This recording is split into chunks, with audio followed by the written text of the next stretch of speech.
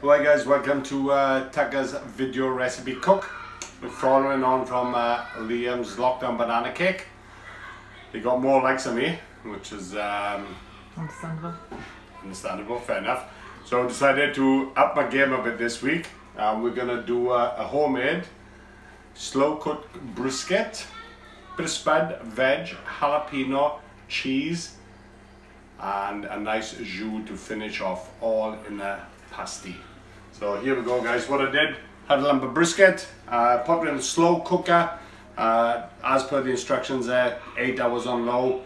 I browned it off first with a bit of onion, added some beef stock, red wine, and you can really herb it up with uh, some uh, bay leaves, spices, bit of star anise, really get that flavour.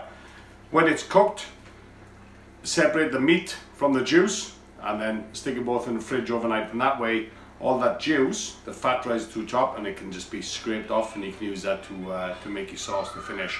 So shortcrust pastry, two sheets, which I prepared earlier.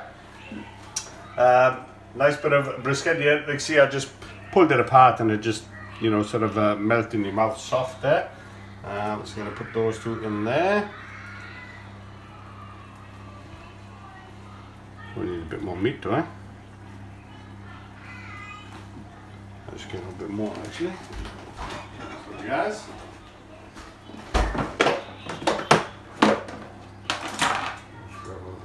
Here. So the great thing about these, they come in one kilo blocks, you know, you can cook up this brisket on the weekend or, or when you when you got a bit of spare time and then just keep it in the fridge and last last sort of a good a good five days easy. I think that's enough, is it? A little bit more just to finish off. One, two, three. There you go. And then got a bit of spud. I just put this in the microwave for about five minutes just to soften up because really everything in here is pretty much cooked.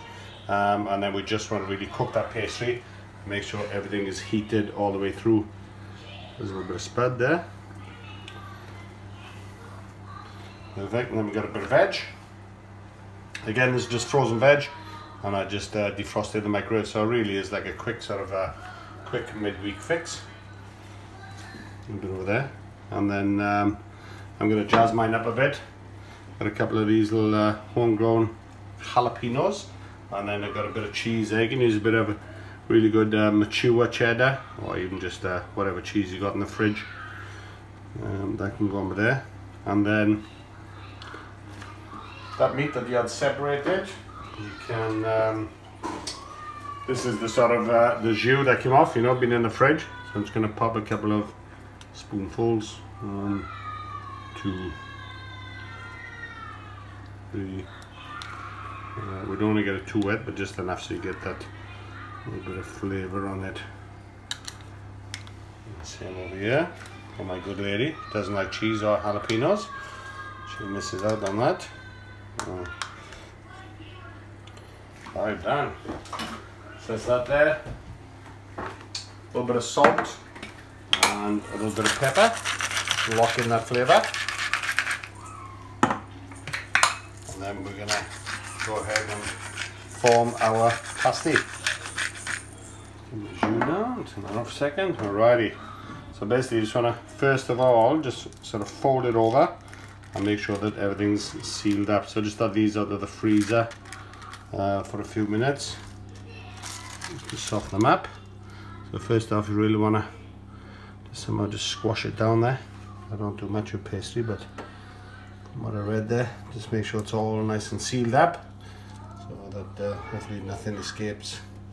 Alrighty and then we're gonna sort of fold it over, press it down, fold over, press down so just along that any sort of way just to try and make it look a bit pretty. And also to uh, make sure that it's all well and truly sealed in. I'm just coming on this side so I'm just sort of folding over. Pressing down my thumb. Just down. Oops. Over there. Press down. Over there. Press down like that. There you go. Hopefully that's to work. And then uh, just got a bit of egg wash. Just to brush that pastry so hopefully this goes nice and uh, golden brown when it's cooked. So there. You can use a bit of sheet of uh, baking paper this time which I haven't got. So I'm just gonna dazzle a little bit of egg wash on there. And hopefully it doesn't fall apart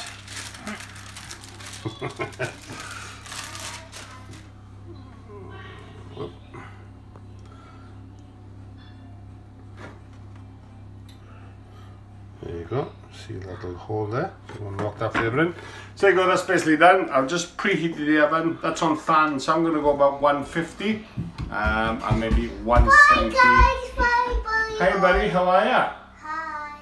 We're making pasties today. You want a pasty? Have the guys that they can capture the rebel waffles. Oh, you're making truffles. There you go, it's come from banana cake to truffles. And I'm gonna pop this into the oven. I'm gonna check it after about 15 minutes. Like I say, everything's cooked. We just wanna cook that pastry and get it nice and golden brown. So 150 on the fan and 170 no fan. Uh, I'm gonna check it in 15 minutes. So our pasties have been in the oven for about 25 minutes. Um, I just checked them now, they had a little bit more to go. And they are done. So notice this hasn't gone too hard and too browned.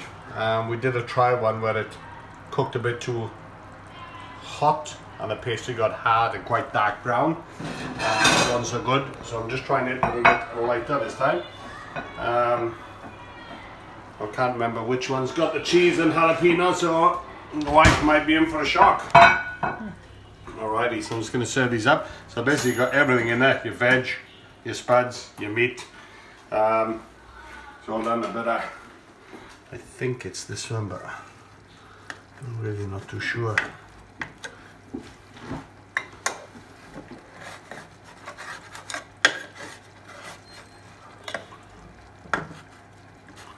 You see any cheese in there? Yeah, I can smell the jalapenos. Oh yeah, cheese there. There you go, there's a little bit of cheese coming out the side there. There you go, so that's mine. So guys, that was at, uh, uh, been in it for about 25 minutes. I'm just gonna pop that onto a plate. The markets are on this weekend um, at level two, or hopefully we shall be back to level one. Um, looking like the weather's going to be fantastic. Got the America's Cup starting. Um, Wales are on their way to a Grand Slam in a fortnight. Two more wins to go. Um, so yeah, things looking good. And we've got the races this Saturday, hopefully. Alrighty, so I'm just going to pop this on here. Plates have just been warming. So you got there's a bit of cheese just oozing out there, and I can smell those homegrown jalapenos. You that looks pretty good. Side. And then what we did is with that sort of uh, stock that we'd put into the fridge, as you see we put a little bit of this, the rest of it uh, we just put through a sieve.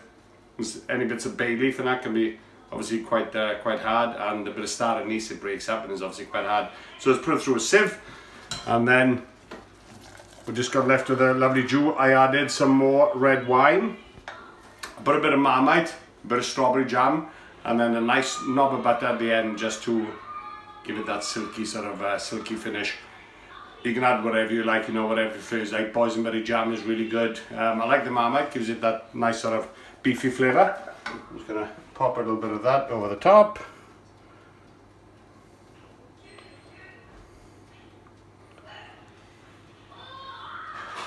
Mmm, it's pretty good.